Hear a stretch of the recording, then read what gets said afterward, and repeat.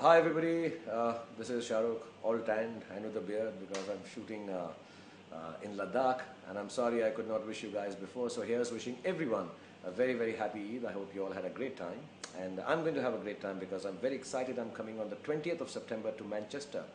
So all of you please join me at Davenport Green Hall in Hale, Cheshire. It's another exclusive event brought to you by Lockdown Promotions and uh, Samir ID Sound. So I hope to see you all there. Manchester, love you. See you soon.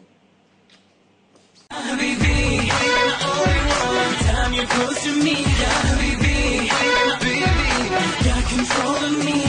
Tu aa jana, die, jaane dam, tu na jana.